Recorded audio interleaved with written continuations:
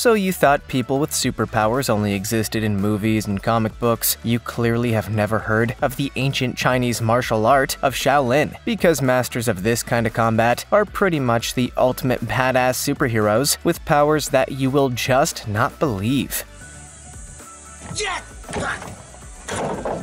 From their unbelievable skills to the crazy things they can do with needles, here's 15 things you didn't know about Shaolin monks. Number 15. No one can beat a Shaolin master. Let's kick things off by saying no one can beat a Shaolin Master, except maybe another Shaolin Master, or maybe two Shaolin Masters, but it's not something you can just sign up for and expect results the same day. Oh, and no. This is a seriously tough path of spiritual and physical training, which has been unchanged for hundreds of years. After all the grueling tasks you have to perform, you'll probably be looking forward to a day off. Well, that's where I've got bad news. There are no no days off, ever. You train every single day, and it begins at the age of 6, so there's really no escaping it. The training pushes young Shaolin wannabes to endure incredible fatigue and pain so they can become amazing warriors. Strength, balance, flexibility, and a lot of meditation are the main practices.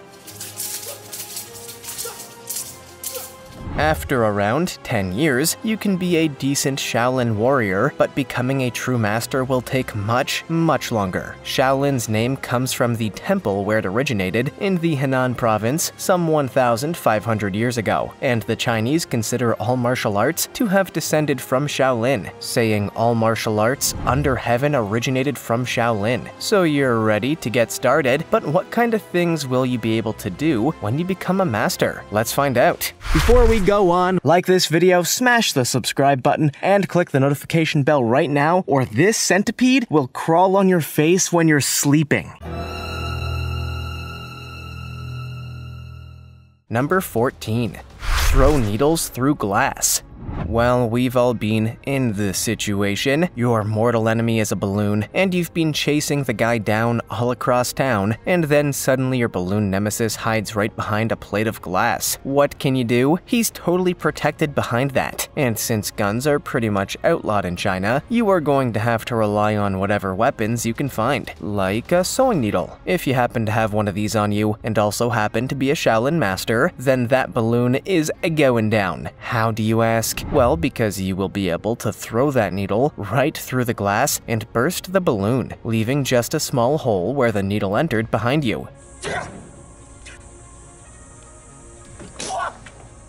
Pretty crazy. All it seems to take is about 1.5 minutes of breathing and warm up, aiming, and trying to visualize the needle going right through the glass. And you have a weapon which is almost as effective as a gun. The trick is to throw the needle super hard, and also at a 90 degree angle. Also, make sure the glass isn't too thick and that the balloon is right next to the glass, but when you've got all those things together, you can become a needlepoint killing machine. Number 13. Drill doesn't break the skin. A lot of Shaolin training is about defense as much as attack, and to have a good defense, you need some decent armor. But at the same time, you also need to be as flexible and free moving as possible, so dressing up like Robocop is pretty much out of the question. The answer is to work hard on your own skin and make it super resistant, so it's basically a natural leather coat stuck right into your own body. Cool. One monk named Zhao Rui has trained this element to the extreme, and he is able to withstand someone using an electric drill against his temple without even breaking the skin. He can also lie on top of metal spikes and bend an iron bar around his throat. The famous 24-year-old monk has become a celebrity in his home city of Miaozhou, in southwestern China's Sichuan province, famous for his incredible acts of pain resistance and strength. His many years of training began at age 3, and now he has skin which is basically unbreakable. Number 12. Handstand on one finger. Handstands on two hands are pretty tough. In fact, there are days where just regular standing is kinda tiring, to be honest. So nice to just slump down in a lazy boy after a long day and get to the important task of reclining, but not for a Shaolin monk. These guys prefer to stand up on just one finger. Doing a handstand on both index fingers is an old Shaolin trick, and we've seen that enough times, but one finger? That's a lot more impressive. A monk named Is believed to be the first to have performed this trick in the USA when he demonstrated it 50 years ago in Chicago. To the amazement of the watching crowd, now you can witness this video of the finger skill and still be amazed, because it's one of the craziest tricks in all of Shaolin. The monks will spend years just training their fingers, trying to make them as hard as iron. In the Shaolin Temple, they repeatedly finger punch trees to build up the huge strength needed to perform a skill like this. Number 11. Sitting in a squat position with joined hands balanced on two pillars with a sharp bamboo stick just below them and a bowl on their head for two hours. This particular skill is known as the monk pillar skill, and it involves sitting in a squat position with joined hands balanced on two pillars with a sharp bamboo stick just below them and a bowl on their head for two hours. Why? Well, who knows why, to be honest. Maybe they are expecting guests and want to make sure the Doritos are presented in an interesting way. Maybe that would explain the bowl, but maybe not the need for the sharp bamboo stick. If they lean back on that thing, it is going to go right in the butt, and that seems like it might be kind of unpleasant. So they don't lean back, they stay right in place with the bowl on their head and some unbelievably painful burning in their thighs, I would guess. This is just a training method, so you can imagine what the real stuff must be like. Sometimes they replace the bowls with oil lamps, just in case the original setup was getting a little uncomfortable and you wanted to add in some scalp burning heat for a little extra spiciness. Number 10. Running over water. Shaolin existed before physics was really introduced into China as a scientific discipline, and so Shaolin monks sometimes decide to completely ignore physics and carry on like everything is Crouching Tiger, Hidden Dragon. In this example, a Shaolin monk did better than Jesus and ran over the surface of water for 118 meters.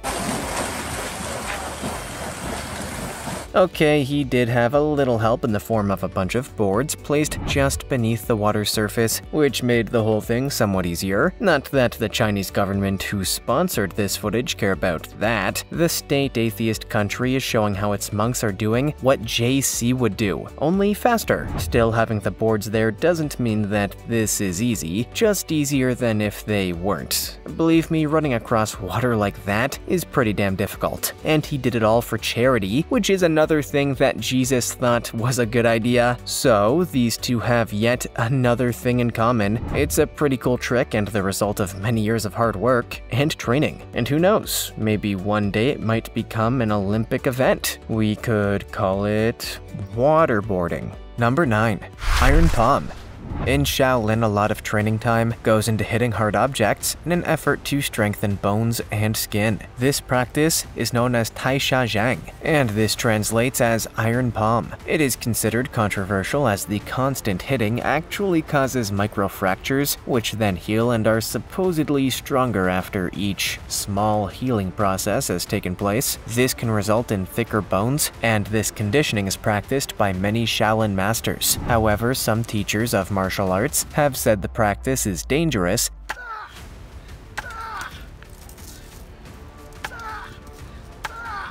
and can cause damage to blood vessels, cause damage to nerves, and weaken the skeleton overall due to multiple fractures. The method is usually to take a sack of sand, beans, gravel, or ball bearings and repeatedly hit the bag in drills, which will cause pain to the knuckles or palm, but over time the pain will reduce and calluses will build up, allowing for much stronger palms. Iron palms, in fact, which will be awesome if you ever need to give someone a super satisfying satisfying slap, or need to tackle that pickle jar from the East European deli that will just not open under any normal circumstances. Number 8.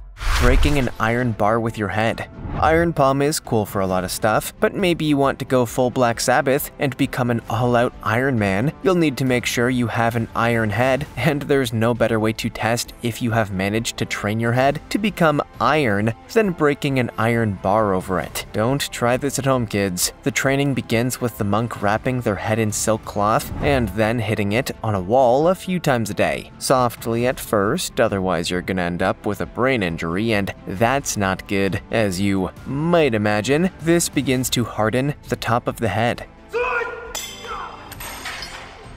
The back of the head, and the forehead. Gradually, the number of blows per day increases, as does the force of the blows. After one year, the silk wrap begins to be reduced, with three layers removed every 100 days. Once all the layers have been removed, the next stage of training begins. They bang their heads against stone, against other monks' heads, and then they begin to try and break stone slabs, as well as sleeping in headstand position. Finally, the bones in the entire head will be compacted, strengthened strengthened and reshaped, allowing the master to break an iron bar with his skull. Number 7. Praying in boiling oil.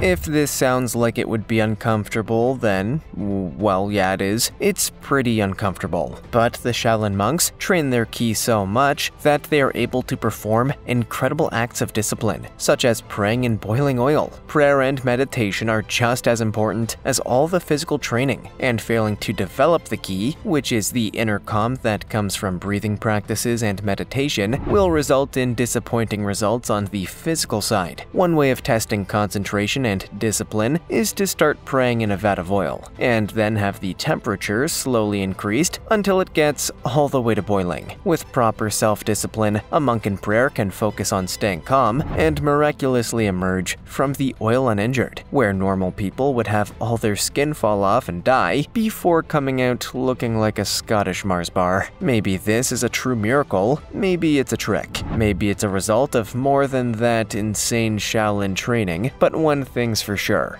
I'm not gonna try this one out for myself. Number 6. Shaolin Monkey Fist. Shaolin Monkey Fist is a special form of Shaolin fighting, and it makes use of monkey-like movements to intimidate and defeat an opponent. Would you like to fight a man-sized monkey? That not. In fact, there are several different kinds of monkey-based kung fu, and while they have some differences, there are some essentials you will need to learn if you want to fight like a monkey. A lot of throat, groin, and eye strikes are used, as are tumbling and falling techniques. One style is even known as Drunken Monkey, so you will be fighting like a chimpanzee which has been going hard on the bourbon all night. You'll basically turn into Mickey Rourke in other words. Some of the monkey styles involve training a specific area of the body to be like iron, and then leaving it exposed so the enemy will try to attack it. But it is your strongest spot, and it means your opponent has fallen into your trap, and you can now put a banana in his eye, or whatever the next part is. Number 5. Diamond Fingers. So you've trained all your body parts to be like iron, but that's still not enough. You need to train them to be even harder, as hard as the hardest thing in the world, diamond. How are you gonna do this? Well, the answer is, of course, by doing a lot of crazy stuff for a really long time, such as jamming your fingers into huge bowls of sand over and over again. Then you might want to run them through what seems to be a giant iron mangle, which is normally used for pressing the water out of clothes. In fact, my grandma had one of those, and us kids were told to definitely not put our fingers in it. Maybe they just didn't want us to develop crazy diamond fingers. There is, of course, a risk of injury from this kind of training, but that is balanced by the incredible gains you can make over time in tendon, joint, and bone strength. It's best, as always, to learn from a master who can guide you through step by step. Number 4. Little Monks As we mentioned earlier, Shaolin training starts extremely young, and you can see these adorable monks aged around 6 years old, showing off their amazing balance and flexibility as they head on their way to become superpower killing machines in just a few short years. This footage was taken at the Shaolin School of Buddhism in Dengfeng County, Henan Province, and these children are already being put through their paces as they hope to become masters in future. Monk Master Yan Wan said that although the training was very tough, if they could overcome these small difficulties and setbacks, 刚开始来的时候是从什么都不会，娇滴滴的一个 they can suffer anything when they grow up. The warrior monks are not the only monks present at the 5th century monastery. There are also scholar monks who spend most of their time in meditation, hoping to achieve enlightenment, according to the principles of Chan Buddhism. And it's these little guys who will keep this amazing tradition alive into the future. As we live in an increasingly destabilized world, there can be few better places to spend the next 40 years or so than here. Number 3. Drunk Lila Skill The Drunk Lila skill is all about the monk playing like he's drunk. This is a pretty amazing form of deception, since your opponent will think he's getting into an easy fight with a drunk guy and will have no trouble beating you. Only it's all an act, and you really are a stone cold sober killing machine because Shaolin monks never drink, they just learn to mimic the actions of someone who drinks too much, so they can incorporate it into their fighting style and utilize the element of surprise. The way the skill is taught is by lifting up heavy water cans and moving them around like a drunk person. This teaches unusual forms of balance and agility, which can look like the complete opposite. Eventually, the idea is to grab hold of your opponent and squeeze them to death, a skill which is learned by the monks, spending many years grabbing onto a tree trunk and trying to lift it out of the ground. So if a Shaolin monk ever wants to give you a hug, tell him you're fine with just waving. Number 2. Pain Tolerance Using Qigong, the monks can develop special methods of breathing which can turn their bodies into suits of armor, and with this skill, they can withstand blows from all kinds of objects, even sharp ones like swords. The training is crazy extreme at times, like in those scenes in Kill Bill where Uma Thurman has to carry all that water up a mountain and all that kind of stuff. That wasn't just Quentin Tarantino making it up, he had done his research. That's for sure. In fact, there have been a lot of movies about Shaolin over the years, because people cannot get enough of these badass monks with amazing pain tolerance. There was even one about Shaolin soccer, which seems kind of weird as soccer stars seem to have almost zero pain tolerance, judging by the amount of time soccer games seem to involve watching a guy roll around on the floor like he's been shot, before getting back up like nothing is wrong. That is not very Shaolin. Neymar would have been eaten alive in one of these training camps, I'm pretty sure. Number 1. Iron Crotch as all men will know, there's that one part of the body that is just kinda the worst place to get hit. Even if you are facing a Shaolin monk in a fight, if you can plant a swift kick in the balls before he knows what's happening, you will have your best chance of winning as the guy lies on the floor clutching his groin in agony. Unless you are fighting against Master Wei Yaobin, who has perfected something known as Iron Crotch. This master trains his students in how to withstand blows to the nether regions and not feel the pain anymore. Apparently, it can even help with sexual health, although being ritually kicked in the balls every day for years to build resistance seems kind of like it might have the opposite effect. But I'll take Master Wei's word for it. He says, I have learned this kung fu skill since I turned 67 years old. I think it is good for my health. I insist on doing it every day. I believe it builds up resistance, and I have got less fever and cold than before. Well, you be you, Mr. Shaolin Master. What crazy Shaolin training would you have included on our list? Do you have what it takes to become a Shaolin Master? Let us know in the comments below. Also, check out our other cool stuff showing up on screen right now. See you next time.